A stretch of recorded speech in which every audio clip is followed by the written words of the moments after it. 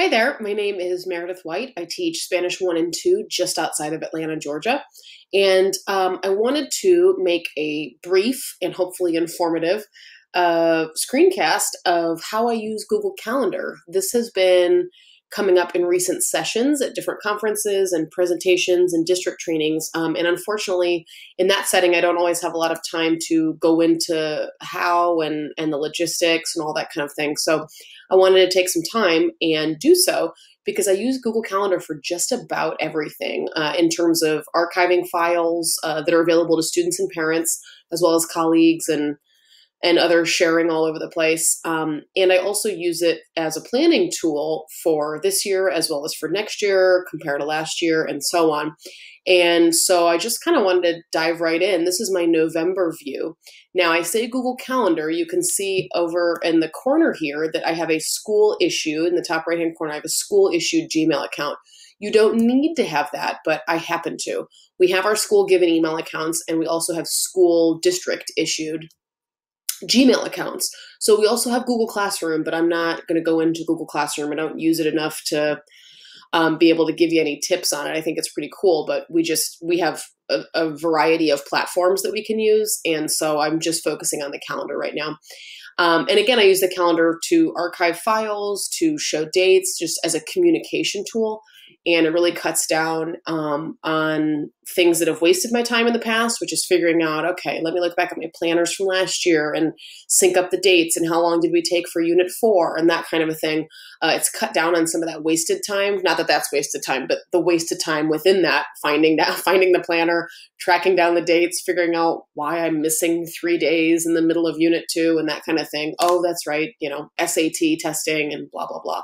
So that can be kind of tricky with the calendar, it's just all in one place. And whenever I updated it last in real time for myself, is the way it stays until I change it. So next year I can see, oh, that's right, the second week of, well, for example, like you can see on the screen, the third week of Unit 5 is Thanksgiving.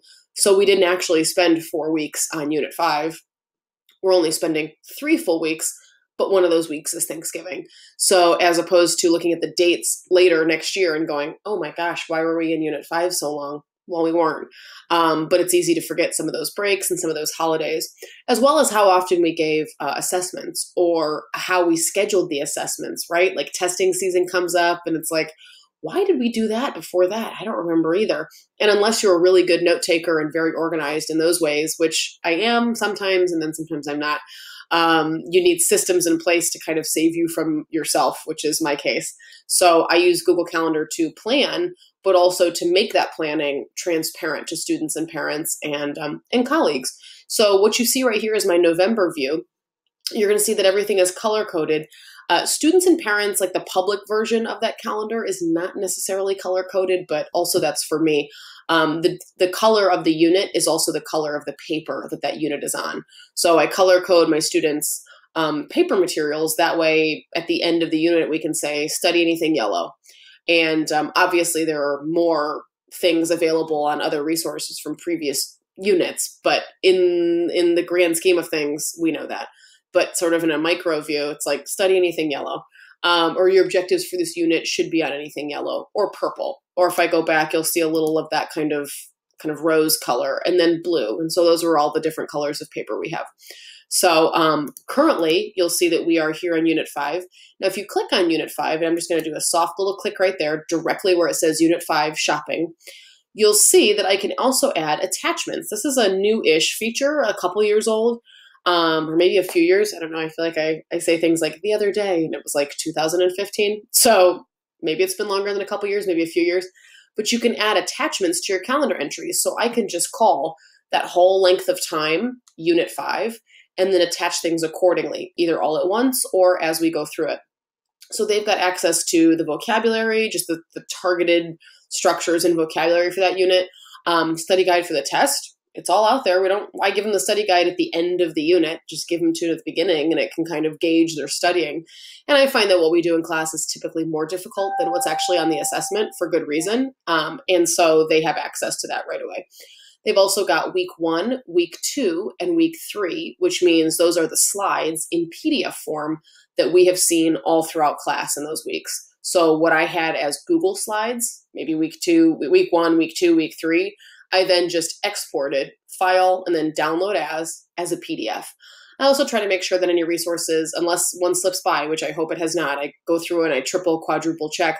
But any resources that have been purchased are labeled as such. That way, because my calendar is public, um, people can't take resources that have a copyright and that belong to somebody that I bought, but they didn't therefore have to buy. So that's just being fair to the vendors, um, who we owe a lot to. Uh, when you buy resources, it's so nice to find stuff that works and is awesome and is well thought out. And so I, I appreciate those people. So I have to be really careful when sharing resources so publicly.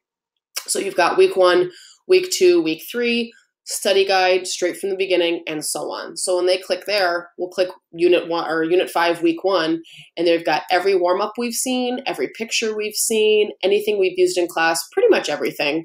Uh, with things labeled as purchased and so on. Sometimes I just take those out. So if it seems a little like jiggy joggy, it's because I've just like deleted entire sections. Um, but anyway, little bits and pieces of this and that and different warm ups. And then that's everything we've done in class, basically. Um, obviously, one can vary from that schedule, but those are the those are the slides uploaded at the end of the week.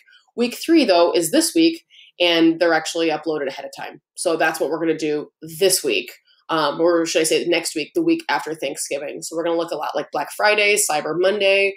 Unit five for us is like shopping, clothing, community, and so on. We've got a little Senor Wooly, a little grammar, um, some puzzles, some videos, and then also some assessment prep as well as some tongue twisters and hopefully some intercultural discussions as well as comparisons.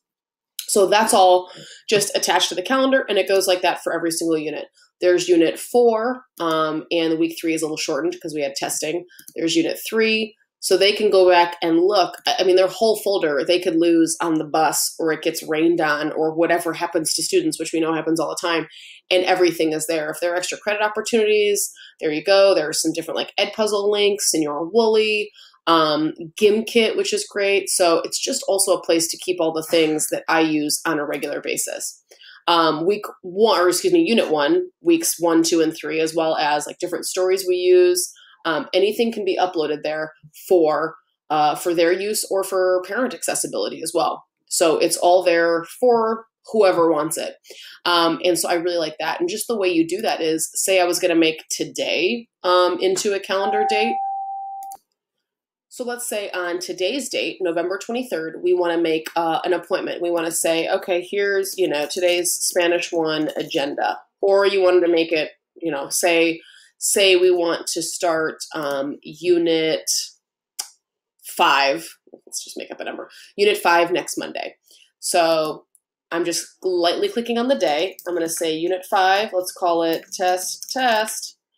And then here's where you make the dates. So you know it's going to start Monday. And then let's say it's just a quick, it's just a week long unit. And there I go. So I have the 26th, the 30th, and I just want to hit save.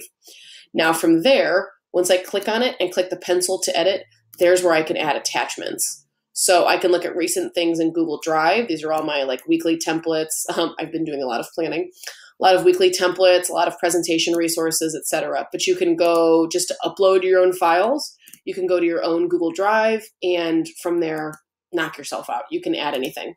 Um, once you add something, you have to double check though. Let's add week three. Actually, let's add something that hasn't been added recently. Let's add week three from Spanish 2 April. Once you go, once you once you add it, it'll stay right here, and then you want to click on the file name. Click on the stoplight here. It's not a waffle, but it's a little partial waffle. It's a little stoplight.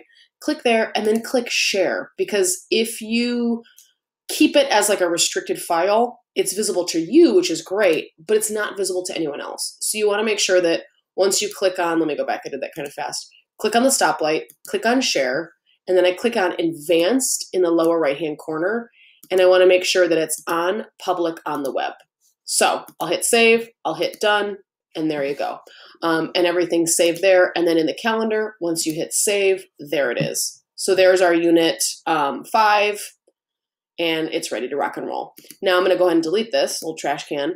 But I've also got presentation resources saved. So anything I did at ACTFL, anything I presented on, is here for um, attendees and non-attendees alike. Anything on social media, anything I've done recently with different districts,